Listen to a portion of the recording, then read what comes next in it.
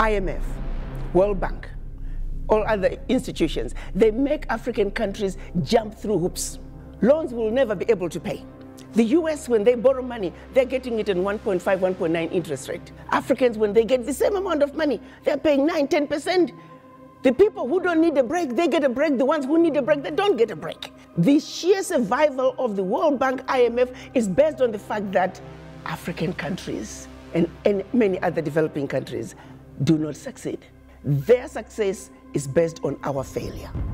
That has to change. And guess who can make that change? We, the children of Africa. We, the Africans, are the ones who have to say, we know your game now. Enough is enough. We're not playing it anymore. And this is where the diaspora come in. There are more Ghanaian doctors in New York City than in, in the entire country of Ghana. There are more doc Nigerian doctors in LA than in the entire country of Nigeria. So let's be serious here. What Africa needs is capacity, capacity, capacity. And that capacity is in the diaspora. So it behooves us to bring the diaspora together, let them understand what is really going on in our Africa. Diaspora are not going home, diaspora are angry about Africa because they are not understanding the root cause of why Africa is where it is today. They think getting rid of a president will take care of the problem, far from it.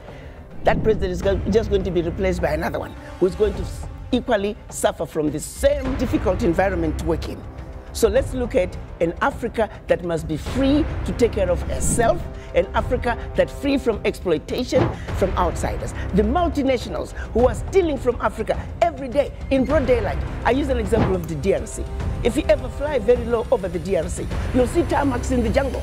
You'll see 747s flying into DRC, picking up minerals and flying right out. The same multinationals are responsible for arming young people and giving them MK-16s. Because why? Their satellites in the skies are telling them where that village is. There's, there are lots of diamonds. So what do they do? Arm young people, drag them up, and send them to go chop off a few heads. The rest of the village runs away, so they come behind and do their illegal mining. We black people must understand what is really going on. Because what we are shown instead is, oh, look at those Africans killing each other. There are some serious games that have been played in Africa for far too long. And once we understand that, we can strategize as to how we can begin to bring the difference and bring the change that Africa needs. And that change can only come if the African diaspora are united and the Wakanda villages, as I call them. It is our organized way of saying, starting with one African diaspora center of excellence, it will be a new city, a developmental hub that we can then take from there every sector is developed. Take healthcare. How many doctors do we need in this region to take care of this many people? We pick up education, same thing. We pick up engineering. We pick up electricity. How many megawatts of power do we have in the region? How many do we need? Be it solar, be it wind, be it hydro, be it geothermal, be it nuclear. The question I had right from the get-go, uh, first, is to the euro. Secondly, it's still going to be printed in, uh, uh, in France. Third, they may try to say we are eliminating the uh, colonial tax, but they're replacing it with the uh, foreign exchange tax. These countries are very capable of negotiating their own deals. Their funds don't have to go through the French uh, central bank. Uh, even countries wanting to trade with African countries, they don't have to go through French central bank. So there are all those technicalities that are just stupid. What's needed is complete separation. France has got to get out of Africa, really, honestly. Enough is enough to take $500 billion out of Africa. I mean, it is insanity of the highest order. In countries that are supposedly poor, and making those countries fund French education, French healthcare system, create jobs for French youth while we are struggling in our country. It's no longer sustainable. President Macron needs to wake up and smell the coffee. And the African youth are the ones he's going to have to deal with. The African youth are not taking it anymore. They want what belongs to them. Financial institutions, though they, them too, if I had my way, all the African heads of states should stop paying back any loans that were given by IMF and World Bank. Those loans have been paid gazillion times over. Drumbeat was getting louder about me becoming the chairman of the African Union. I disregarded it because it's nothing that I've ever uh, thought about. But increasingly, as we are looking at the implementation of the African Continental Free Trade Area, you have to understand the role of the African Union Commission is to be the implementer of the decisions that are agreed upon by the African heads of states. So it's important that we not get a career diplomat who's now only looking for their next position.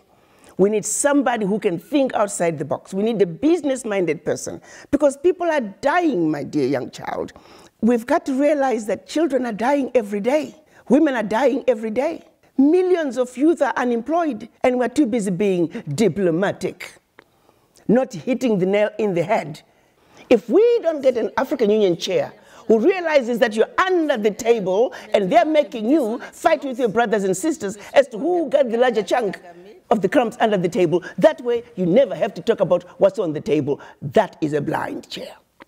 We need somebody who gets it. I do know that there's a need for major disruption at the African Union level. If I were to become chair of the African Union, I want to bring disruption. Women in general, actually, we have a tendency to just apologize and we just don't think we, we're quite able to, uh, to get there. Granted, our challenges are real. Let's make a commitment to say we will succeed, nobody is superior to us, we will get the job done. Let's find strength within each other that we are going to take care of ourselves. We're taking care of our neighborhoods, we're taking care of our homes, we're taking care of our Mother Africa. That commitment and that change of mindset, once we have the change of mindset, the game is over. Because you can take me wherever you take me. If my mind is in the right place, there's nothing you can do to me.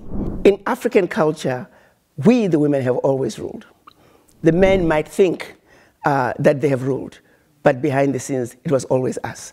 I like to share the story of Nana Yaa Asantewaa. She was the gatekeeper of the uh, Golden Stool in the Ashanti Kingdom. When the British were trying to take the Golden Stool from the Ashanti people, the men had given in. They were ready to give up the Golden Stool in exchange for the king who was in exile in Mauritius. But you got to understand that the Golden Stool is where the spirit of the Ashanti people is housed. So when you give up the golden stool, you have given up the spirit of a people. Our men, our Ashanti men, were ready to give up the, the spirit of the Ashanti people. Nana Yaa Asantewaa, as the gatekeeper of the golden stool, she said, absolutely not. And let me paraphrase her speech. She said, I shall call upon all my female sisters. We will pick up arms and we will fight the British till the last one of us is down We then picked up arms, organized, and they fought the British and defended the Golden Stool. That is the power that the African woman has. But my message to the African woman is to say, you, the African woman, without you, there would not be any other races. And for that reason, you have a very important role to play in the world affairs. Once you understand that, take your role. No one should ever make you feel inferior. As mothers, as grandmothers, as sisters, as nieces, let's come together and let not only our husbands and our brothers and our uncles know we need to work together as equals because it's going to take all of us working together to make our Africa what we want it to be.